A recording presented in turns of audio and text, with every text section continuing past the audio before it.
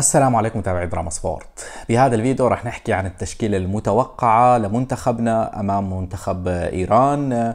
بطبيعة الحال رح نحكي عن تشكيلة متوقعة وتشكيلة بتمناها شخصيا. وإن شاء الله يعمل شيء منتخبنا بهاي المباراة. نوعا ما أنا متفائل. ما بعرف ليش يعني هذا الشيء ممكن يكون سلبي لكن متفائل. متفائل بأن منتخبنا قادر على تحقيق نتيجة إيجابية قدام المنتخب الإيراني. ما حدا بيعرف شو بيصير. وقبل ما نحكي عن التفاؤل وعن التشكيلة المتوقعة والتشكيلة اللي بنتمناها بتمنى إذا كمان ما عم توصلك الإشعارات من القناة فيا ريت تعمل اشتراك وكمان تفعل زر الجرس وما تبخل علينا باللايك.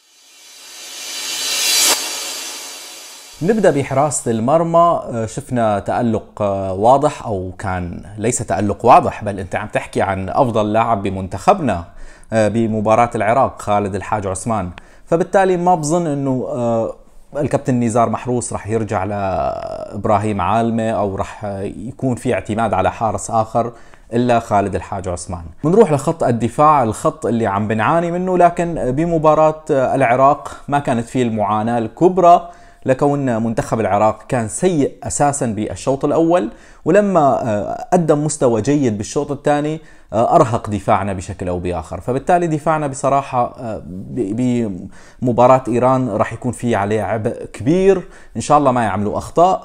توقعي الشخصي بأن عمرو ميداني وثائر كروما راح يلعبوا كقلوب دفاع بمباراة منتخبنا. كمان ما بظن راح تكون في تغييرات بالأظهرة. راح نشوف مؤيد الخولي ظهير يمين. آه، خالد كردغلي ظهير يسار. وبالتالي عم بنشوف بحراسة المرمى وقلوب الدفاع والأظهرة نفس اللاعبين اللي شاركوا بمباراة العراق ممكن يلعبوا بمباراة إيران. بخط الوسط هون هي الطامة الكبرى هون هي الشغلة الصعبة التوقع لأن في شيء عم بيتحمله الكابتن نزار محروس في أخطاء صارت. يعني أنت عم تستدعي تامر الحاج محمد لأربع خمس مباريات بالتصفيات ما أشركته. وبعدها لم تستدعي. فبالتالي حاليا عم نشوف في معاناة إسراء حموية بسبب آه، تراكم البطاقات ما راح يلعب. محمد عثمان غادر المعسكر. فأمور المنتخب سيئة جدا. أمور المنتخب على صعيد خط الوسط آه، لعيبة المحور سيئة جدا. مع تدني مستوى أحمد الأشقر والمستوى السيء اللي قدمه كامل حميشة بعد دخوله بمباراة العراق فالله يعيننا يعني بصراحة. بشكل عام شايف إنه بخط وسط الارتكاز ممكن يكون في اعتماد على محمد عنز عاد من الإصابة والتحق بالتدريبات الجماعية وكامل حميشة. فبالتالي ممكن كامل حميشة يكون أفضل من أحمد الأشقر لكن بشكل عام أنت عم بتعاني بهذا المركز نتيجة أخطاء المدرب لا أكثر ولا أقل. تامر الحاج محمد لاعب الخبرة ما ما اعطيته أي دقيقة بالمباريات السابقة بأربع مباريات. زاهر ميداني اعتزل بسبب عدم آه، إيجاد دور له مع المنتخب. يعني ما شاف أي دور ممكن يعطيه مع المنتخب. وحكينا عن محمد عثمان وعن خالد مبيض كان لازم ممكن ببعض فترات آه، المنتخب يتم استدعائه مع هالازمه اللي عم بتصير حاليا وعدم اقتناع طبعا الكابتن نزار محروس بسيمون آمين. فعلى نفسها جنت براقش حاليا عم بتشوف في عقم بخط وسط الارتكاز. منروح للأجنحة محمود المواس جناح يمين فهد اليوسف جناح يسار ممكن الاعتماد على محمود البحر وعمر السومة بخط المقدمة. إجمالا هاي هي التشكيلة اللي ممكن يلعب فيها الكابتن نزار محروس بمباراة إيران. ماني حاسس إنه ممكن تكون فيها تغييرات لكن التشكيل اللي بتمناها فيها نوع من التغيير. تكتيكيا وحتى بأسماء اللاعبين. التشكيله اللي بتمناها سعد أحمد كقلب دفاع وعمرو ميداني كمان كقلب دفاع. هون أكيد رح تتفاجأ كيف عم تختار عمرو ميداني وانت لك أربع إلى خمس مباريات عم تعمل انتقاد للاعب. يا عمي شو بدي أعمل؟ يعني ما في لعيبة بالمنتخب منتخبنا عم بيعاني بخط الدفاع. الكابتن نزار محروس ما اعتمد على لعيبة آخرين. فالشيء الموجود حاليا إنه عمر ميداني لازم يلعب أساسي. ما في لعيبة. فعمر ميداني وسعد أحمد بالدفاع ظهير اليمين مؤيد الخولي ظهير اليسار خالد كردغلي. بخط الوسط ممكن اختيار ثائر كروما مع محمد عنس. ثائر كروما لما بتكون الكرة مع المنتخب الإيراني ممكن يرجع لحتى يكون مع عمرو ميداني وسعد أحمد. يعني فينا نقول ممكن نلعب بطريقة الخمسة ثلاثة اثنين لما بتكون الكرة مع منتخب إيران. أما لما بتكون الكرة معنا فثائر كروما بيلعب بخط الوسط بشكل أو بآخر مع اللاعب محمد عنز. بطبيعة الحال محمد عنز شخصيا أنا بشوف أنه الجمهور شايف محمد عنز لاعب غير جيد أو, أو لا يستحق التواجد مع المنتخب السوري. محمد عنز للأمانة يا شباب الشوط الأول بمباراة العراق قدم مباراة ممتازة جدا على صعيد التمريرات على آه، بخط الوسط ما أخطأ 92% من التمريرات صحيحة كان عم بيغير اتجاه يعني كان نوع لاعب جيد فينا نقول ومحترف بالدوري البحريني حتى بالدوري البحريني عم بيأدي مستوى جيد. فبالتالي آه، خلونا نشوف محمد عنز شو ممكن يعمل مع آه، ثائر كروما بخط وسط الارتكاز. كامل حميشة آه، إذا لعب بالتشكيله الأساسية وكان أجهز من من محمد عنز فالأمر كمان يعني مقبول نوعا ما. لكن أنا بشوف إن محمد عنز بالمباراة الأخيرة أقنعني جدا على الأقل ممكن آه، من ناحية التمريرات من ناحية بناء الهجمة ما عم بيعمل أخطاء بالتمرير. هون اللاعب اللي ممكن أختاره أمام آه، محمد عنز وثائر كروما هو محمد ريحانية.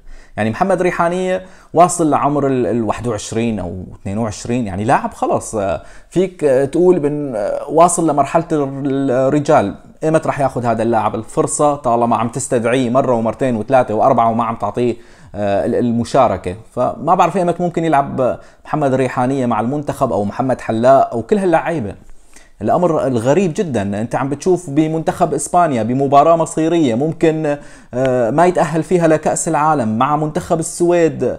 يعني مباراة فاصلة. دخل اللاعب تشافي لاعب برشلونة عمره 17 عام. يعني لاعب صغير جدا والجمهور هتف باسمه. ب 17 عام 17 سنة. فنحن محمد ريحانية لسه شايفين إنه لازم ياخذ الفرصة أو لسه لازم ياخذ الخبرة. بطبيعة الحال إذا ما كان محمد ريحانية جاهز بدنيا كل هالأمور تتعلق بالمدرب. هو لازم يكون يعني يعرف مين اللاعب اللي ممكن يعطيه 90 دقيقة بشكل ممتاز. إذا ما كان محمد ريحانية جاهز فمحمد المرمور لاعب ممكن يقدم الإضافة كصناعة لعب. مكان عمر خريبين نحن بنحتاج للاعب يعطي الإضافة بصناعة اللعب.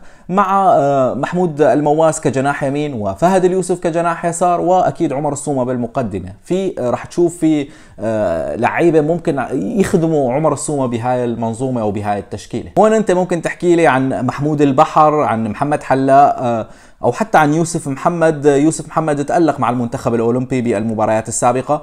ممكن أي لاعب من هاللعيبه الثلاثي إذا لعب بالتشكيلة الأساسية الأمر جيد. إذا كانوا جاهزين بدنيا وإذا كانوا ضمن منظومة صحيحة ومنظومة سليمة ومع مدرب بيقدر يوظف هاللعيبة بالشكل المناسب. شخصيا شايف إنه محمود البحر مع عمر السومة هيك أنت عم تظلم محمود البحر. فبالتالي لهالسبب يعني أنا بتمنى إذا دخل محمود البحر فيفوت بالشوط الثاني إذا كان لا سمح الله منتخبنا متأخر أو إذا كان وضعية المنتخب هجوميا غير جيدة ممكن يكون في اعتماد على محمود البحر. نفس الشيء محمد حلاق بالشوط الثاني ممكن تعمل تغيير بدخول محمد حلاق تنشط آه، أحد الجهات الجهة اليمنى أو الجهة اليسرى بخروج فهد اليوسف أو محمود المواس. لازم هاللعيبه كمان يتبدلوا ببعض الأحيان. يعني ما عم نشوف في تبديل لهال إلى أربع لاعبين إذا كانوا أساسيين ما عم يتبدلوا. رغم إنه في لعيبة شباب ممكن آه، تأدي بنفس المستوى. على العموم أنا شايف إنه طريقة ال 4 2 3 1 نفسها هي تقريبا لكن ممكن بالحالة الدفاعية تتحول لطريقة أقرب إلى الخمسة ثلاثة اثنين. يعني الطريقة اللي أنا حابب أنه يلعب فيها الكابتن نزار محروس هي الخمسة ثلاثة اثنين بال... لما بيكون المنتخب الإيراني عم بيستحوذ على الكرة وغالبا المنتخب الإيراني راح يستحوذ على الكرة. فبالتالي لازم نلعب بطريقة نوعا ما فيها التحفظ الدفاعي ما نتلقى أي أهداف. هلأ أكيد أنت كمشجع بتقول بأن هاي المباراة لازم نلعب فيها بطريقة هجومية أه نحاول نكون الند بالند للمنتخب الإيراني نحاول نحقق الفوز لا بديل عن الفوز. وأنا هون متفق معك بعدد من الأمور لكن بشكل عام منتخبنا لازم يكون نوعا ما أه متحفظ نوعا ما يحاول يستدرج المنتخب الإيراني للدقيقة 30 للدقيقة 40 من دون ما يتلقى منتخبنا أي هدف. ممكن نغير الاستراتيجيات بعض الرتوشات البسيطة بس نحاول نكون الند بالند للمنتخب الإيراني إذا راحت المباراة للتعادل. وممكن منتخب لبنان والإمارات يتعادلوا. ممكن آه، العراق وكوريا الجنوبية تخسر العراق أو أو آه، يتعادلوا. فبالتالي نحن راح نكون ضمن المنافسة. الخسارة هي السيئة. التعادل ما سيء لأنك أنت عم تتعادل مع إيران. وإذا تعادلت مع كوريا الجنوبية يا عمي فوز على لبنان والإمارات بتروح الملحق على الأقل وتعادل مع العراق. ف, ف في أمل على الملحق لكن لازم تفوز على منتخب لبنان والإمارات. مو تفكر بالفوز على منتخب إيران أو منتخب كوريا الجنوبية وبتروح تخسر مع لبنان. يعني مع احترامي للمنتخب اللبناني والمنتخب الإماراتي والمنتخب العراقي نفس الكلام أكيد بيرددوا المشجع العراقي نفس الكلام بيرددوا المشجع الإماراتي. ماشي روح اخسر مع إيران روح اخسر مع كوريا الجنوبية بس لا تخسر لي مع سوريا أو مع آه، هالمنتخبات. نفس الكلام نحن بنحكيه العاب مع منتخب إيران على نقطة التعادل وإذا حققت الفوز ممتاز جدا. لكن أهم شيء ما تخسر قدام إيران أهم شيء ما تخسر قدام كوريا الجنوبية. أه، إلى الآن كطريق أنا شايف إنه منتخب العراق كطريق هو الأفضل. باستثناء مباراة إيران تعادل مع كوريا الجنوبية. فبالتالي أه، حتى هذا التعادل راح يخدم المنتخب العراقي مستقبلا إذا فاز على لبنان وفاز على الإمارات. فنحن لازم نكون شغالين على هذا الموضوع. إذا تعادلنا مع منتخب إيران أكيد بطبيعة الحال فوز منتخب لبنان على الإمارات رح يضرنا. فوز منتخب الإمارات على لبنان رح يضرنا. بس لازم نفكر بهاي الطريقة. نحاول من هالمنتخبين الكبارية بالمجموعه إيران وكوريا الجنوبية ناخذ نقطة إلى ثلاث نقاط. إذا أخذنا نقطة كمان ممتاز جدا. ما راح نشكل الضغط على اللاعبين. هاي عم بحكيها قدام الكل. نحن ما لنا ضاغطين على اللاعبين. جيب لي التعادل بأرضك الافتراضية بملعب القويسمه بالاردن جيب التعادل على الأقل. لا تروح تخسر لي بهاي المباراة. وبعدها آه، آه، لكل حادث حديث. إذا ما فزت على منتخب لبنان والإمارات فأنت بالأساس ما بتستحق الملحق. أما إذا أخذنا الطموح فقط إنه نلعب مع منتخب إيران بطريقة هجومية وآخر شيء بنتلقى ثلاث إلى أربع أهداف مثل ما صار مع المنتخب العراقي فما بنستفيد شيء لا بالمجموعة ولا حتى بالملحق. عدد الأهداف حتى مهم جدا. خسارتنا بمباراة الذهاب بنتيجة 1-0 قدام منتخب إيران يعني نتيجة 1-0 أفضل من إنك تخسر 3 إلى 4-0 لذلك ما بدنا نجازف نفوت على المباراة. يا قاتل يا مقتول نشتغل بهدوء بطريقة جيدة. إذا أخذنا التعادل مثل ما حكينا جيد لا بأس. إذا فزنا أكيد الأمر راح يكون ممتاز جدا ورهيب ورائع. أكيد بنتمنى يفوز المنتخب. بس لازم نكون واعيين لهذا الموضوع. نحن إذا بدنا نتأهل للملحق لازم نفوز على منتخب لبنان والإمارات والعراق. يعني هذا الأمر المهم. نحن عم نخسر مع لبنان. وهي الرسالة واضحة جدا للاعبين وليس للجمهور. العب بشكل جيد. العاب قدام منتخب إيران بشكل جيد استفيد من من الغيابات استفيد من آه، يعني حرام بصراحة. حكينا بالفيديو السابق عن آه، غيابات المنتخب الإيراني. شفت بالتعليقات كم هائل من التشاؤم. أنتوا يعني حتى نوع من التفاؤل ما خليته مع الجمهور. العاب بمباراة إيران أعطينا شوية تفاؤل. خلينا نتنفس. أعطينا شوية تنفس يعني على الأقل ريحونا شوي. وبعد لكل حادث حديث. بمباراة إيران يا جماعة. لا ما بقول العبوا بتحفظ دفاعي. لا تتلقى أهداف بمباراة إيران. حاول قدر الإمكان لا تعمل ركلة جزاء لا تعمل لي آه، أخطاء بمناطق حساسة. العاب باتزان بنوع من عدم التسرع.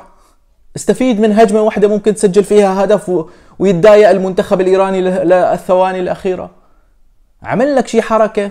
يعني يا جماعة أنا متفهم جدا هلأ في ناس بتقول بدنا نلعب مباراة مصيرية قدام إيران وإذا دافعنا ما لا لازم نقسم الوقت بشكل جيد ندافع ببعض الأحيان أو بغالب الأحيان ونهاجم بالفترات اللي بنشوف فيها المنتخب الإيراني ضائع. بالفترات في أحيانا عشر دقائق ربع ساعة منتخب إيران بيضيع فيها بالملعب فلازم نستغل هاي الفرصة بتسجيل هدف. كل الأمور ممكنة لكن للأسف إلى الآن أنا حاسس إنه لعيبة منتخبنا مضغوطين. ما بعرف من شو مضغوطين يعني. بصراحة أنا إلى الآن ماني فهمان من شو مضغوطين أو من شو مزعوجين أو الضغط الجماهيري. أنا ماني شايف ضغط جماهيري يعني. على كل حال على كل حال ما بدنا نكتر بالكلام. آه، واسع بصراحة وعندي تفاؤل.